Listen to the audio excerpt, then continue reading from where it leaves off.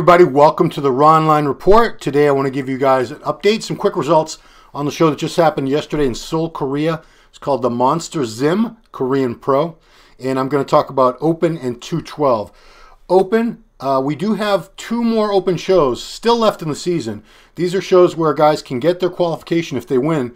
They can get their qualification for the 2020 2020 Mr. Olympia, which means they don't have to worry next year about picking a show to qualify at and getting ready for that. And if they don't win that to get their qualification, they might have to do another show leading into Olympia. Winning these post Olympia shows and getting the qualification very early on gives them a much better, much better chance to plan out their year and they know exactly when they're going to be prepping and competing and they're already qualified. So without further ado, congratulations to the winner, Nathan De Asha, Nathan De Asha from the UK. Nathan has had a whirlwind year. Uh, before even getting into the contest uh, situations that he's been in, he has had, according to his trainer Matt Jensen, not one, two, but three minor muscle tears this year. We also know he had eye surgery shortly before the British Grand Prix. And of course, he had some legal issues he had to take care of. That actually forced him out of the Olympia at the last minute.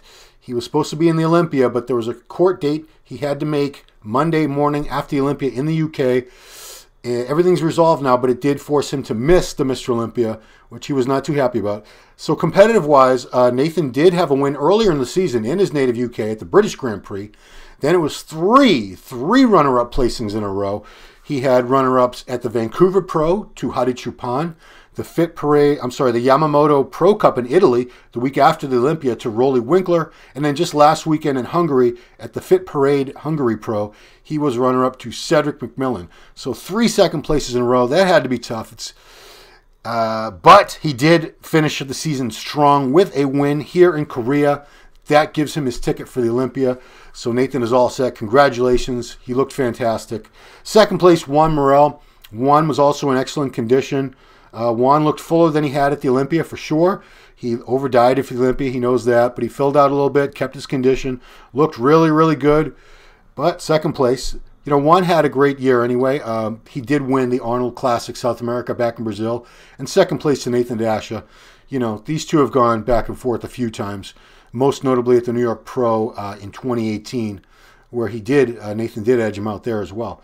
So they certainly have a rivalry now, if they, if you're guessing. Third place went to California's An Nguyen. That's A N N G U Y E N. An has been uh, very good for a few years now. Just needed to get his conditioning on point. He seems to have a handle on it now. He's coming in much sharper all the time now than he was. So I think we're going to be seeing more and more high placings from An in the in the months and years to come. Fourth place, uh, gentleman I was not familiar with, Mohammed El Elam from Russia. Fifth place went to Daniel Toth from Hungary. 212 division, we had a win there for Hide Yamagishi.